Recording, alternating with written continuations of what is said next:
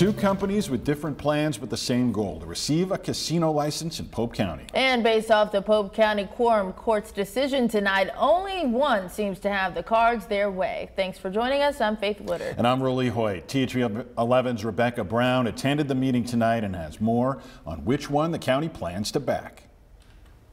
Two companies facing off tonight in a high-stakes game, both presenting to a closely divided Pope County Quorum Court on why they should be chosen to receive a casino license. Outlines the proposal that we intend uh, to offer to you and what we want to do in Pope County. And as you can see on, on this map, uh, the Pope County Casino it will be a vital part of our regional growth strategy.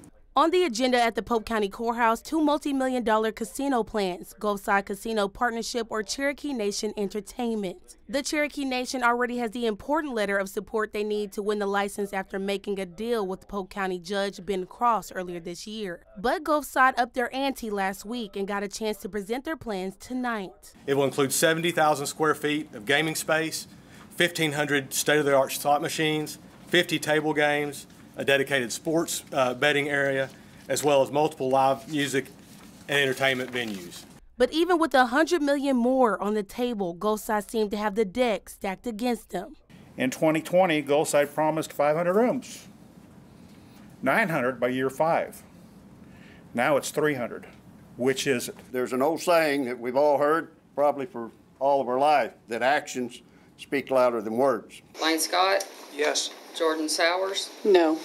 Bill Sparks? Yes. And at the end of the game, a resolution to support Gulfside failed, seven votes to five. Five years of legal fighting appeared to leave the majority of the court reluctant to walk away from the deal they have with the Cherokee, leaving their leaders holding all the cards. We have spent $40 million in out of pocket cash to purchase 325 acres of land which will serve as the setting for Reg uh, Legends Resort and Casino. Rebecca Brown, THV 11 News.